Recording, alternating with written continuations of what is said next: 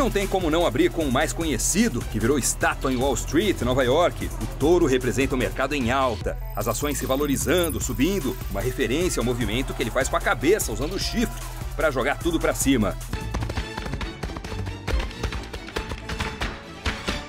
O urso é o contrário. O ataque dele é com uma patada que vem de cima para baixo.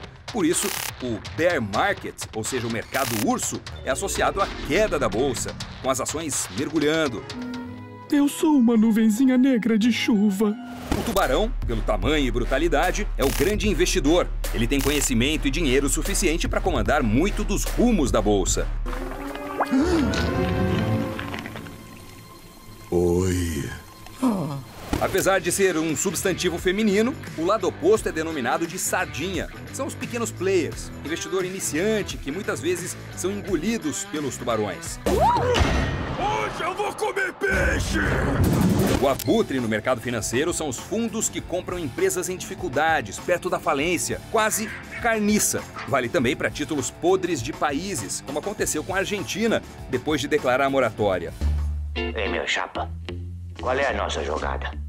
Há também o golfinho ou flipper, que pela agilidade é o investidor que compra e vende ações rapidamente. Faz muito o chamado day trade, a compra e venda de uma ação no mesmo dia. Aê! Surf de golfinho! Borboleta é o nome de uma estratégia usada no mercado de opções para fazer um voo mais seguro e limitar as perdas. Um dia eu vou ser uma linda borboleta. E aí tudo vai melhorar. O unicórnio foi o último a entrar para o zoológico financeiro. Pela raridade, já que é um animal lendário, representa as startups que valem mais de um bilhão de dólares e têm menos de 10 anos de existência.